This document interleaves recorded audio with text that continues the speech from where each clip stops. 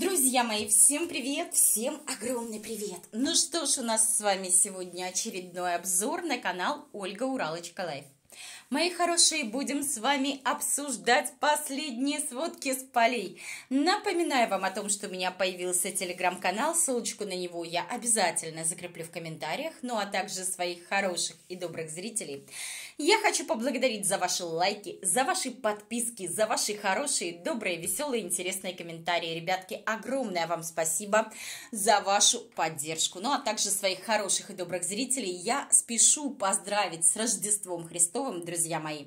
Здоровья, счастья, любви, всяческого благополучия, Пусть сбываются самые сокровенные мечты. Всего самого вам наилучшего. Берегите себя, берегите своих родных и близких. Ну что, друзья мои, пока Уралка, так скажем, отдыхает, да, то ли там в караоке так и осталось, друзья мои, то ли, собственно, в номере лежит, как говорится, даже не удивлюсь, если и на завтрак не попали, потому что встать им было, ну, вообще никак, да, то, то вы знаете, что происходит? Мне мои зрители пишут, Галя, Уралкина хомячка, ничье прямо табунами несется на твой обзорный канал под последний обзор. Ребят, ну что делать? У них там санитары в палате номер 6 разбежались кто куда, да, и вот, собственно, пациенты тоже побежали кто куда.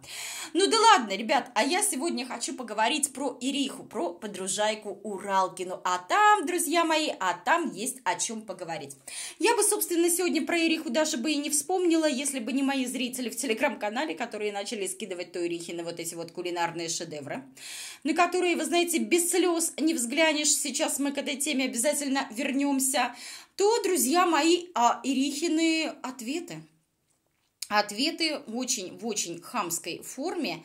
И знаете, что хочется особо отметить, да? Понятное дело, когда тебе пишут комментарии неприятные, да, ты имеешь полное право, как блогер, я всегда, даже вот, кстати, да, чтобы я не говорила про Уралку там и так далее, я всегда прекрасно понимаю, что если им пишут какие-то оскорбления, то оскорбления надо удалять и блокировать тех, кто тебя оскорбляет. Я к этому всегда относилась нормально.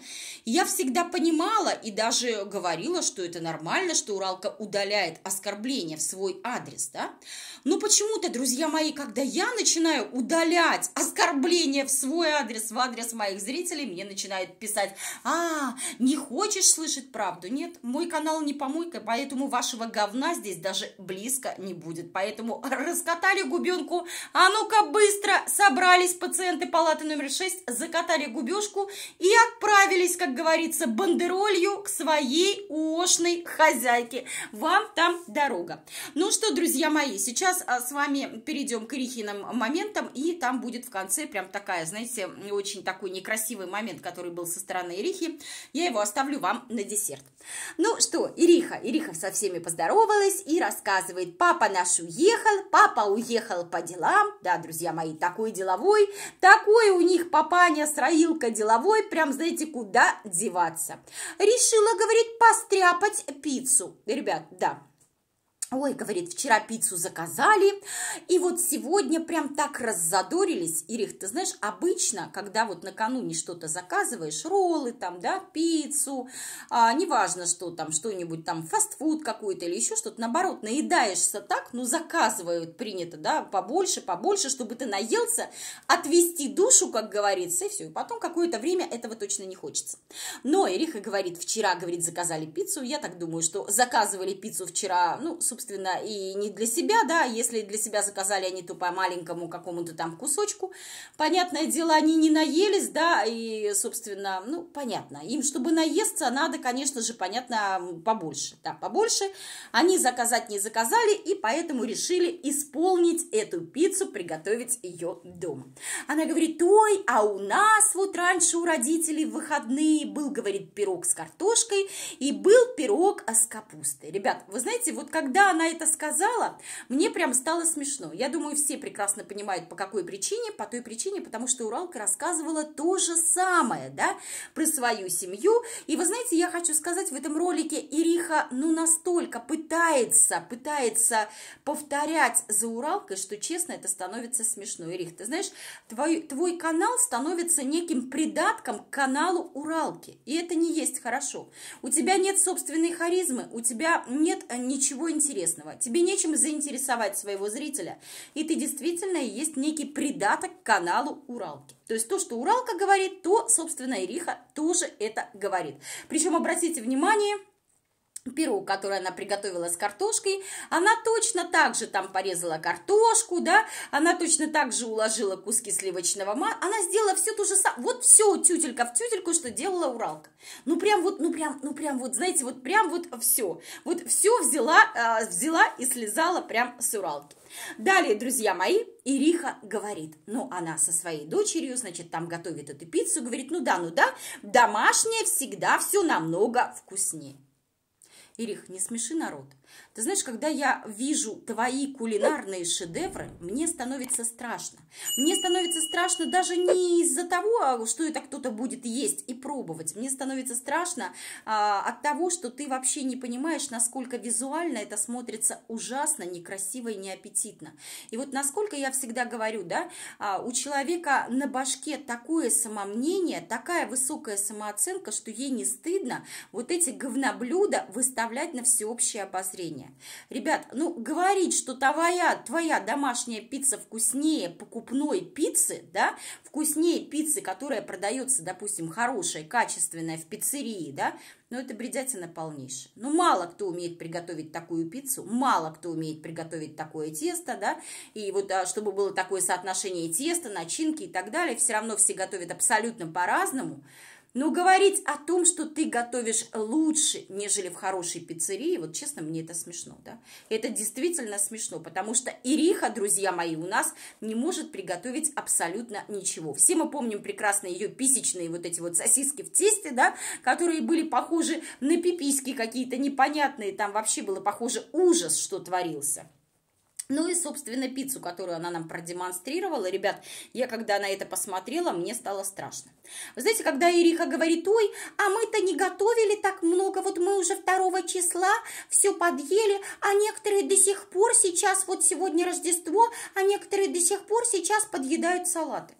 Ирих, что ты мелешь? Что ты несешь? Скажи мне, пожалуйста, что ты несешь? Какие к чертовой матери салаты? Если салаты готовились 31 декабря, ты вообще свою башку это соображаешь, как можно их доедать 6 января? Ну как? Они уже все испортились окончательно и бесповоротно. Я не знаю, откуда у них такие знакомые, может, берутся, которые доедают вонючее что-то непонятно что. Короче, ладно. Ирик, ты представляешь, мы уже столы накрыли заново на Рождество, на наш праздник. Прикинь, да? Странно, что ты все забыла, если ты якобы отсюда, в чем я очень сильно сомневаюсь. Короче, друзья мои, вы знаете, а, да, а, далее, далее вот эти словечки тоже от Ирихи, чего ты позеваешь, позеваешь, говорит она своей дочкой, дочке, и тут же начала нам показывать пиццу, которую приготовила она. Вы знаете, я бы это не пицца, я бы это не пирогом, я бы это назвала какое-то непонятное, то, что, вы знаете, курам дают, вот это вот непонятно что, там лежало на, вот на этом тесте, да, какие-то яйца, какая-то какой-то огурец зеленый, друзья мои, представляете, да? Какая-то там курица, все это с сыром, все это непонятно какое. Боже, это было просто ужасного, блевотного вида. Еще все это с майонезом, ребята. Это никакого отношения ни к пирогу, ни к пицце, вообще ни к чему даже близко не имеет.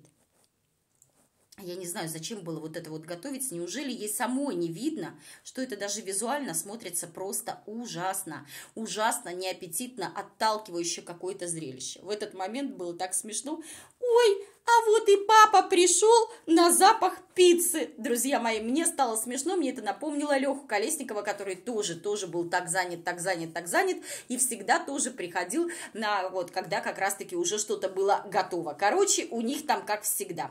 Но, друзья мои, даже не, это, не на это я обратила свое внимание, а на комментарий, который мне скинули девочки у меня в телеграм-канале. А, Ирихи написали в комментариях, мусульманки с открытой грудью не ходят. На что Ириха ответила. Послушайте внимательно, что ответила Ириха. А где ты увидела грудь-то?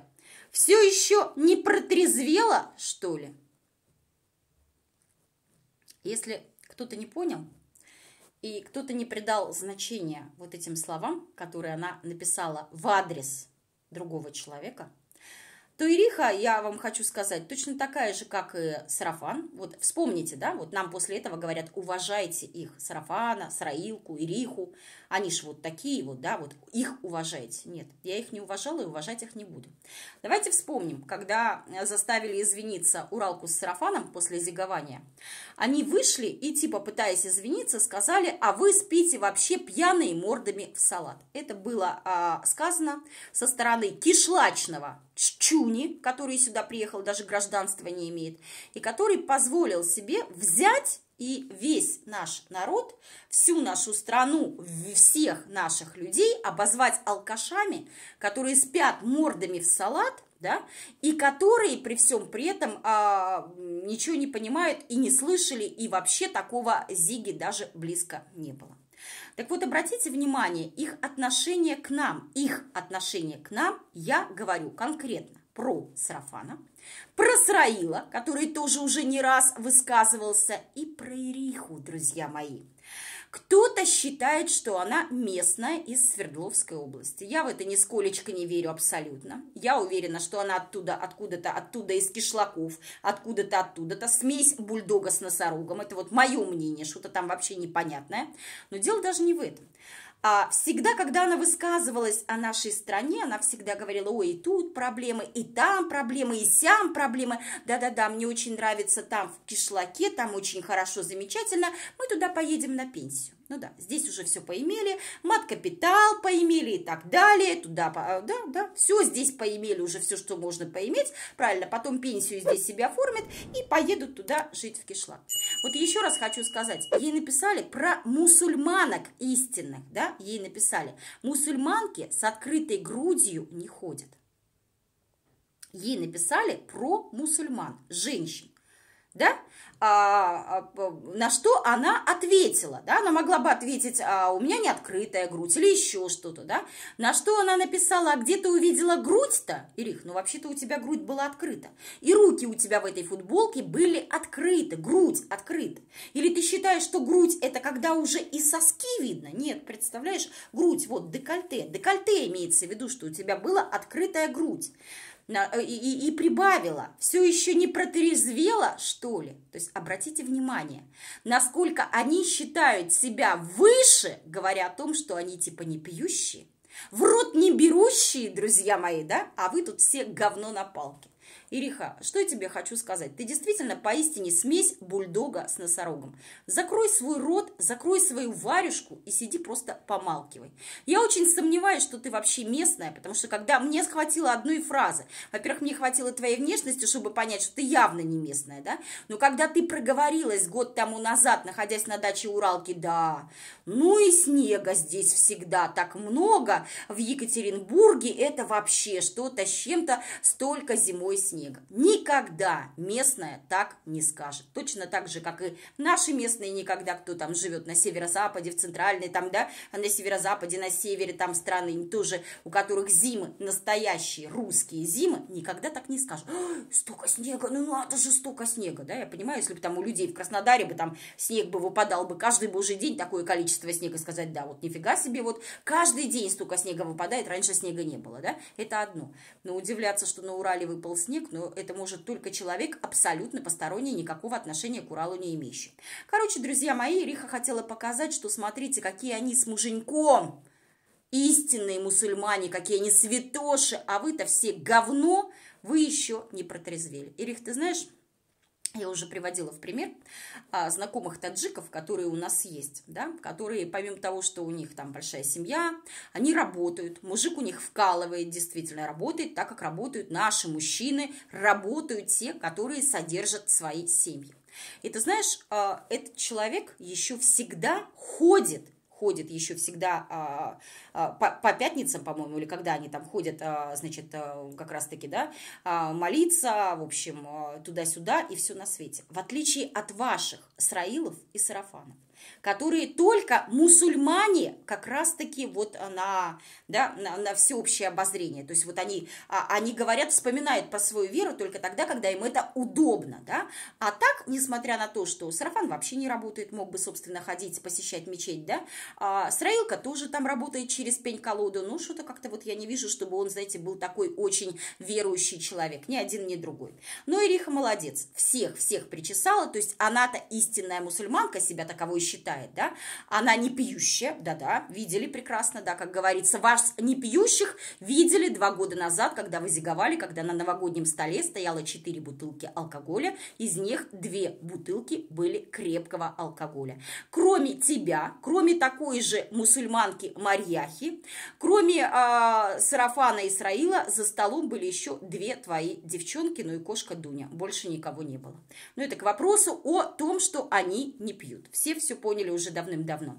Вы знаете, и мне еще понравился вопрос. А, ей задали, у вас вся семья мусульмане? Это Дурко из сказки Морозко отвечает «да». Ребят, представляете, как она сдала себя с потрохами? Ей пишут, а я думала только Исраил.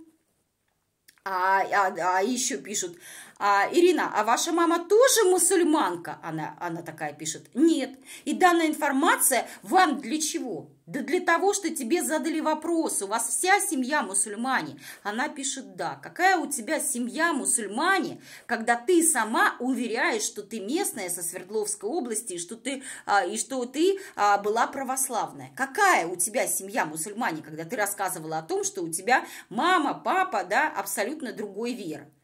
А ты э, поменяла веру. Ребят, короче, я, я в шоке. Я вот их смотрю, я их читаю. Я просто понимаю, насколько это люди без родины, без флага, которым абсолютно все равно. Она сегодня одну веру сменила на другую. Завтра штаны поменяет, сменит еще одну веру на другую. Им вообще все равно. И вы знаете, вот просто без разницы. Ну почему-то себя, что Сраилка, что Ириха, что Сарафан считают такими, знаете, вот они лучше других. Это мы с вами спим мордами в салат, да-да, представляете? А они вот святые, в рот не берущие, не пьющие, не курящие и матом не разговаривающие. А мы когда слышали их маты, видели их алкашку на столе, видели, как они курят, причем не стесняясь делают это, и потом рассказывают сказки, что это детский контент, да, а слышали их маты, да так, что у нас уши в трубочку сворачивались. Поэтому закройте свои варежки позорище, Ириха, ты самая настоящая. Вот ты действительно просто позор таким, как ты. Ужас, ребят, честно, фу. Даже противно стало вот такое, да? А вы все еще не протрезвели, Ирих. Ты э, про себя говоришь? Ты, видимо, еще не протрезвела, раз такое написала.